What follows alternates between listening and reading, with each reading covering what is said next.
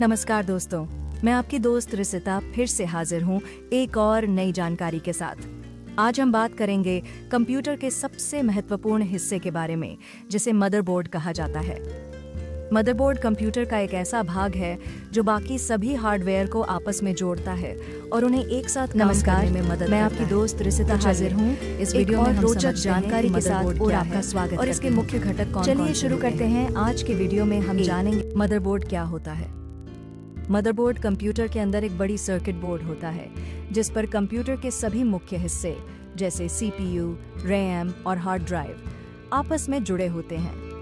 इसे हम कंप्यूटर की रीढ़ भी कह सकते हैं क्योंकि यह सभी भागों को जोड़कर उन्हें काम करने का प्लेटफॉर्म देता है। उदाहरण मान लीजिए कि आपका कंप्यूटर एक कार है तो मदरबोर्ड उस कार का चेसिस ढांचा है जिस पर इंजन सीपीयू टायर रैम और अन्य हिस्से जुड़े होते हैं।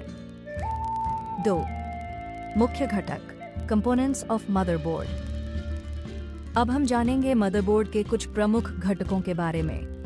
A CPU socket CPU socket यह वह जगह है जहाँ प्रोसेसर सीपीयू फिट किया जाता है। सीपीयू आपके कंप्यूटर का मस्तिष्क होता है, जो सभी प्रकार के निर्देशों को प्रोसेस करता है। उदाहरण यह वैसे ही है जैसे कार में इंजन, जो कार को चलाने के लिए सारी ताकत देता है। B RAM slots RAM slots motherboard पर रैम स्लॉट्स होते हैं, जहाँ आप रैम रैंडम एक्सेस मेमोरी को जोड़ते हैं। रैम आपके कंप्यूटर की अस्थायी मेमोरी होती है, जो आपके द्वारा किए गए कामों को तुरंत स्टोर करती है। उदाहरण, जैसे जब आप कार में गियर बदलते हैं तो राम वैसा ही तुरंत एक्शन करती है। आपके कंप्यूटर में काम को तेज़ी से करने में मदद करती है। C power connectors power connector motherboard को बिजली देने के लिए यह कनेक्टर इस्तेमाल होते हैं। यह कंप्यूटर को चालू रखने के लिए बिजली सप्लाई करता है। उदाहरण, बिजली के बिना कंप्यूटर वैसे ही बंद हो जाएगा जैसे कार बिना बैटरी के नहीं चल सकती। D expansion slots expansion slots motherboard पर कुछ अतिरिक्त स्लॉट्स होते हैं, जहाँ आप ग्राफिक्स कार्ड साउंड कार्ड या अन्य एक्सपेंशन कार्ड्स जोड़ सकते हैं। इससे आपके कंप्यूटर की क्षमता बढ़ जाती है। उदाहरण, यह वैसा है जैसे कार में अतिरिक्त फीचर्स जोड़ना, जैसे नेविगेशन सिस्टम या म्यूज़िक सिस्टम तीन मदरबोर्ड के प्रकार। मदरबोर्ड कई प्रकार के होते हैं, जैसे ए ATX ATX यह सबसे सामान्य और बड़े आकार का मदरबोर्ड है जो डेस्कटॉप कंप्यूटर में उपयोग होता है। यह बहुत सारे पोर्ट्स और स्लॉट्स के साथ आता है। B micro ATX micro ATX यह थोड़ा छोटा होता है, लेकिन इसमें लगभग सभी फीचर्स होते हैं जो एक ATX मदरबोर्ड में होते हैं। यह छोटे कंप्यूटर के लिए उपयुक्त होता है। C mini ITX mini ITX यह सबसे छोटा मदरबोर्ड होता है, जिसका उपयोग छोटे कंप्यूटर सिस्टम या होम थिएटर पीसी में किया जाता है। चार, BIOS UEFI BIOS UEFI motherboard में BIOS, basic input, output system या UEFI unified extensible firmware interface होता है, जो कंप्यूटर के सभी हार्डवेयर को चेक करता है और यह सुनिश्चित करता है कि कंप्यूटर सही तरीके से शुरू हो।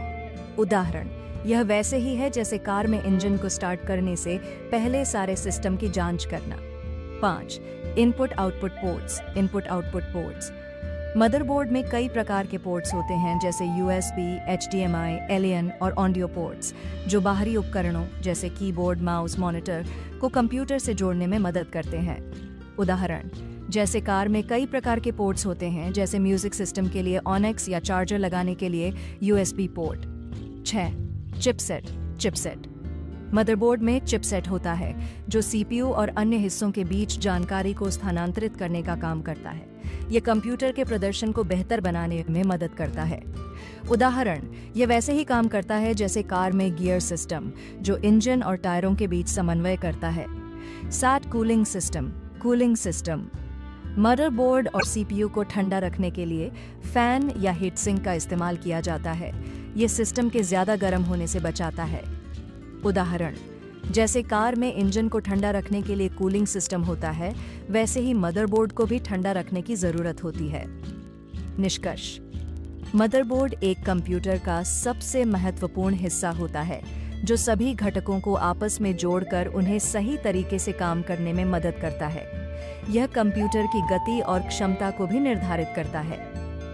अगर आपको यह जानकारी उपयोगी लगी हो तो कृपया इस वीडियो को लाइक करें चैनल को सब्सक्राइब करें और ज़्यादा से ज़्यादा शेयर करें। मैं आपकी दोस्त रिसिता। जल्द ही एक नई और महत्वपूर्ण जानकारी के साथ फिर मिलूँगी। तब तक के लिए मुझे इजाज़त दें। नमस्कार।